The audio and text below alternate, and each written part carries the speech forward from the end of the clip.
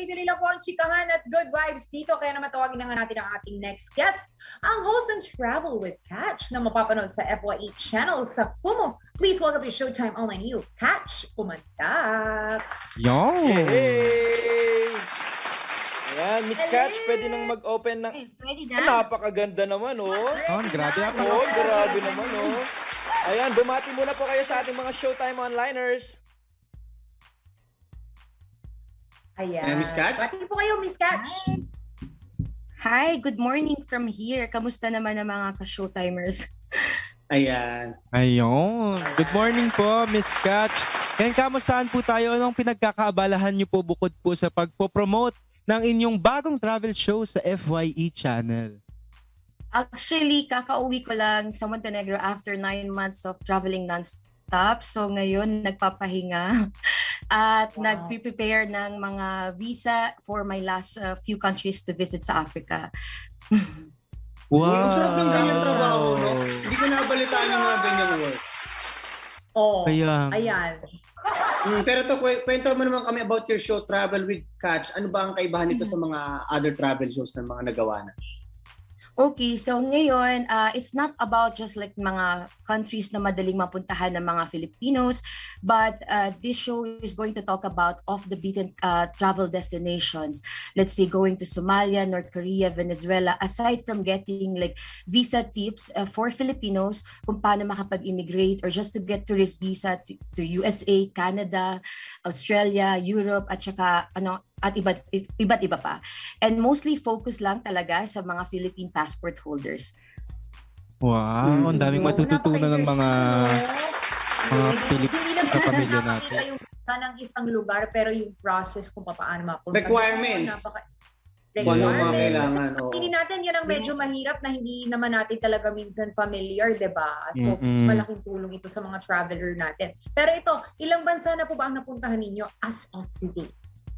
Okay, as of today, I'm 33 years old. I've been to 173 countries and territories in all seven Wow. continents, including Antarctica. So, but if it's UN, kasi may mga competitive travelers, they, they count the United Nations countries. I've been to 153 and 43 countries na lang. And hopefully, I'll be the first Filipino to be to travel to every country in the world using Philippines Wow. passport. Pang ano Wow, yun, ah? ha? Pang Guinness Book of World Record yun, ha? So, nauubos niyo po yung passport niyo, no? Kumbaga, nakakailan po kayong booklet. Nakaapat na ako. Gawa ng visa. Kailangan natin ng Wow. visa.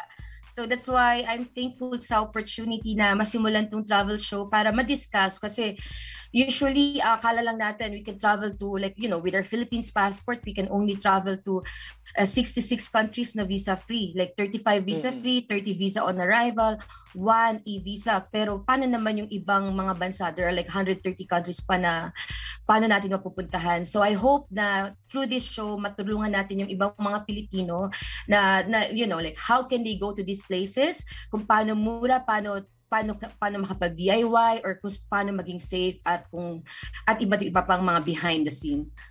Naku, Grabe, ang interesting. Pero, Diba Kat, may kasama kayong team talaga?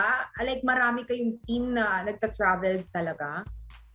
Hindi, actually, I started like uh, in 2013, 24 years old ako, when I quit my job, like uh, to travel. I, I was working in the Middle East and then I quit my job nung 24 para mga quarter life crisis. Siguro mga kaedaran nyo.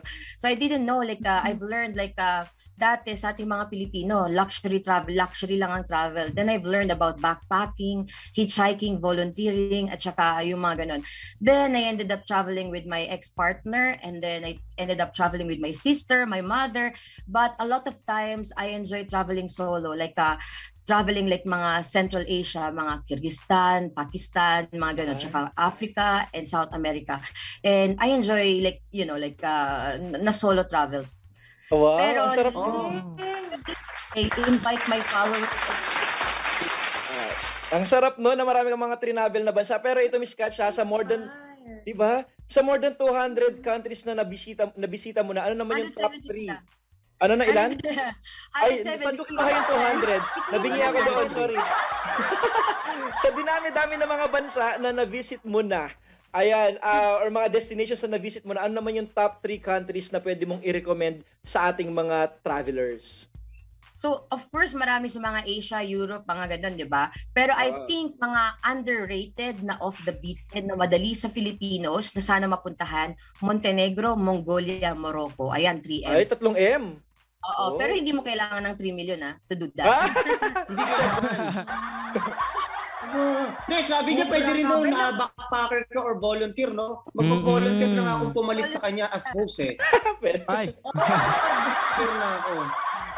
Nakaka-lurks. Oy, pero grabe, nakakahanga ha. Hindi biro yung mga Tama. ganyan travel. Nakakapagod. But uh, you know, Grabe. napaka-happy ng ganyang klaseng work. Pero ito na nga, Miss Catch, sisimulan na nga natin ang ating game na tinatawag na Bansabe! Ganon. ah. kung saan sasabihin mo sa amin kung anong bansa ang tinutukoy o dinidescribe ng bansa ang dinidescribe namin na ba, ah, bansa base sa iyong mga ex- na experience. Okay, Yes. let's start. Mabilis ang sagot lang to, Miss Cash. Number one, bansang pinakamasarap ang pagkain. Italy, Lebanon, Japan? Tatlo. bansang pinakamalamig. Pinakamalamig, depende. Scandinavia, Iceland, pero Antarctica. Kung consider siyang bansa, hindi. Yun, okay. Bansang pinakamaraming Pinoy. Pinakamaraming Pinoy, USA, UAE, Saudi Arabia. Oo, Canada gusto ko na. yan. Pinaka-traffic. Pinaka-traffic Pinaka-traffic Pilipinas. bukod sa Pilipinas. um, India, Thailand, Okay, bansang pinakamaraming pwedeng pasyalan. Turkey, Brazil, Greece, tsaka United States of America. Bansang pinakadisiplinado. Disiplinado, Japan, at tsaka Scandinavian countries, Norway, Swe- Sweden, mga ganun. Oh. Wow. Bansang uh, saan ako mabenta yung mga gantong mukha. Iba yung ganyang mukha. Gusto ko yan, Nico. Ah, mga gantong mukha mo. Ano, yung modeling? makakapag-travel ng, makakapag-travel ng libre, mga gantong mukha. Makaka-travel Galing. lang libre. Walang libreng travel. Kailangan mga Tagaytay. Tagaytay. Ah, wala daw. Sorry na lang. Sorry. Oh. Ayan, sino mo, po ayan. Travel with Cash. Kailan po ito mapapanood sa FYE channel? Okay, today actually is my launching date. It's going to be every Friday at 9 p.m. Uh, sa, sa Pumu and it's only also going to be streamed on my social media channels, Two Monkeys Travel. And ayun, hopefully it's not just about my my my experience and like mga immigration and visa tips, but also I'm planning to invite other extreme travelers like Filipinos who would inspire, you know, our, fellow kababayan din. Wow, yun. Ano po ulit yung ano nyo, ah, YouTube channel, Miss Catch?